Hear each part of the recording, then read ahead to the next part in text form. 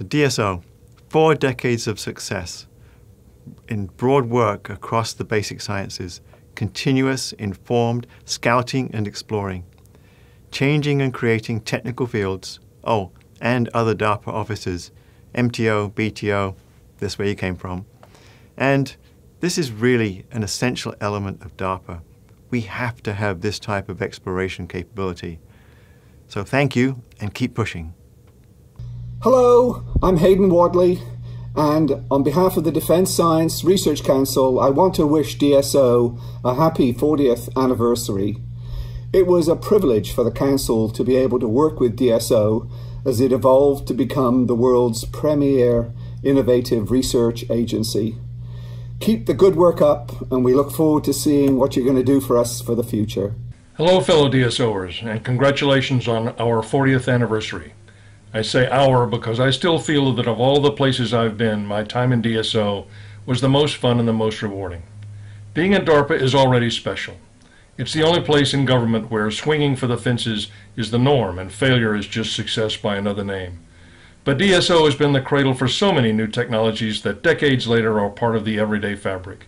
Technologies like 3D printing, neural networks, ceramic composites, optoelectronics, fractal mathematics, high temperature superconductivity, and spintronics. Some of our programs became so influential that they became new DARPA offices. Our work in gallium arsenide, MEMS, and wide bandgap semiconductors became MTO.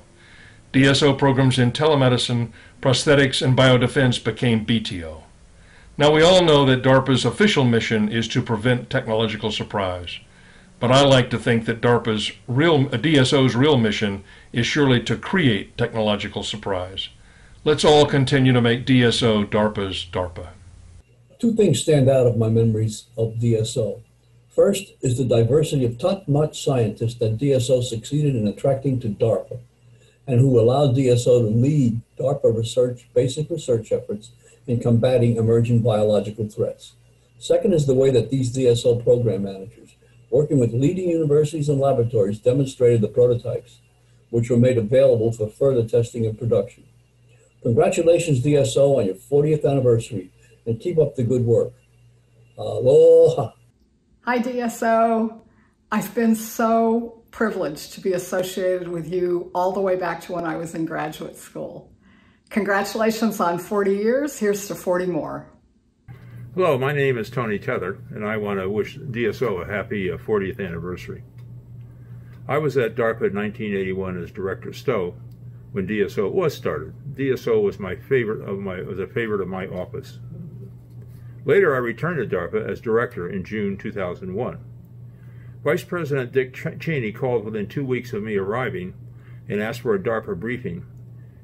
So I decided to have DSO go first and kick it off. That was a daring decision. I knew that the future of my time at DARPA rested on the first briefing. Michael Goldblatt was the office director DSO, and from my dry runs, I felt he was the best office director briefer. Happy birthday, DSO. And although our time together was too brief, my memories are fond. You introduced me to the world of deep science where we could look at opportunities through the lens of what is already known in pursuit of what is yet to be discovered. The time I spent with you was filled with a wonderful assortment of initiatives, ranging from the almost readily achievable and pragmatic to the highly imaginative and fantastical.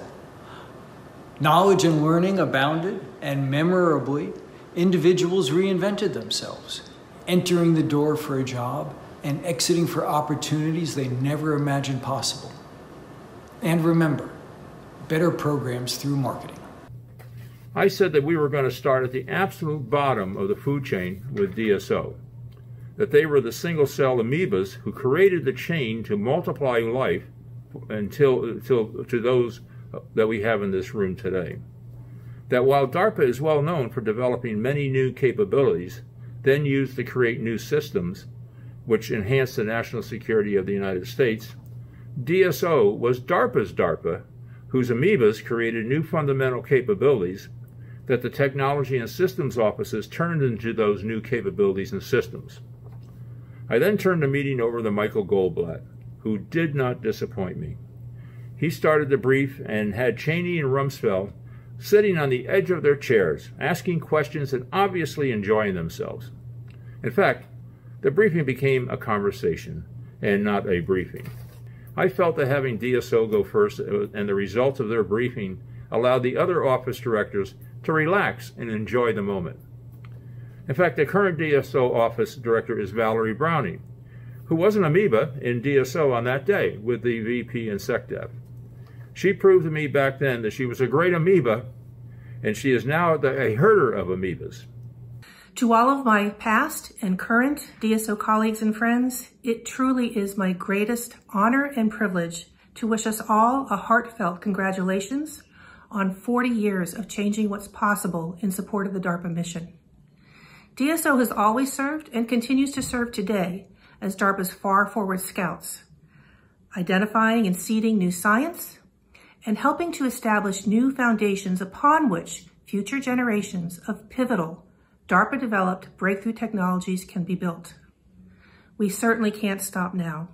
Our work is as important as it has ever been in today's world of proliferated technology and global competitions.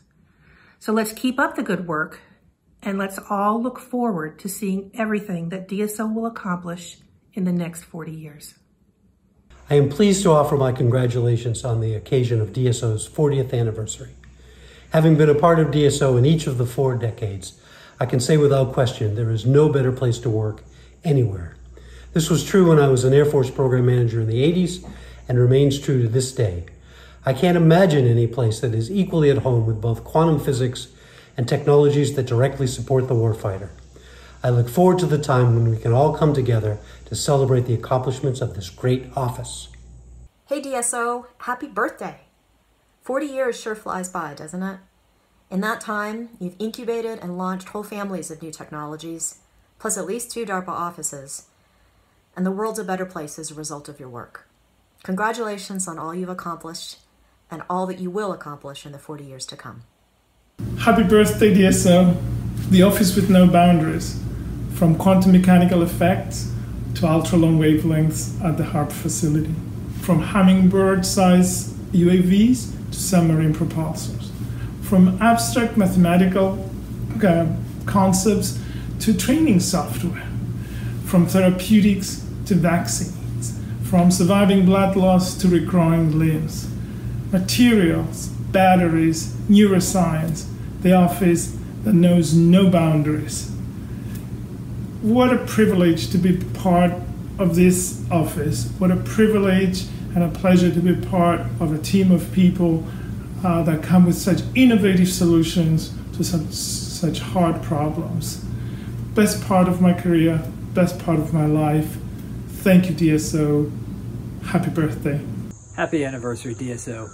40 years of innovation and all done with panache. It's been an absolute thrill to be part of the team for the past year, and I sincerely look forward to all your contributions to science and technical surprise in the years to come. Cheers. Congratulations, DSO, on reaching your 40-year milestone. You are now officially middle-aged. I had the honor and pleasure of working with DSO in its teen years, a challenging time with new ideas, new directions, and lots of new staff. Somehow we survived and the organization has grown and flourished since then. I can't wait to see how the next 40 years go. In closing, I want to wish all the amoebas in DSO, past, present, and future, good luck as you continue to be DARPA's DARPA. Happy birthday, DSO. It's, it's just great to be with you. I remember the times that DSO is just, just incredible. Not only the smartest people on the planet, but really the most generous and giving people. Um, Tony Tether, uh, thanks for giving me the opportunity. Saw him in October 2003, wanted me to be an amoeba. Didn't really know what that meant, but you heard it on this video. Uh, and to be the deputy amoeba, and then I had the honor of being uh, the director of the amoebas. But uh, what great times. I'm seeing the fruits of our labors every day, um, really, in fighting the pandemic. Some of the technologies that we developed, the new techniques, diagnostics, ventilators, all in service right now, saving Americans and people around the world. Um, happy birthday, DSO. I miss everybody there. Good luck on the next 40 years. Hi, everyone. Um, when I was in, uh, when I was first introduced to the DSO almost 13 years ago now, uh, as I started my service in the DSRC, the Defense Sciences Research Council, I remember someone telling me that uh, DSO is DARPA's DARPA. So I was fascinated by the office and the work it does ever since. Congratulations on your 40th year as DARPA's longest continuously staffed office. And thank you for your dedication to public service and to DARPA's mission and culture. You have a lot to be proud of. I am very excited to continue working with you. Well done. Congratulations.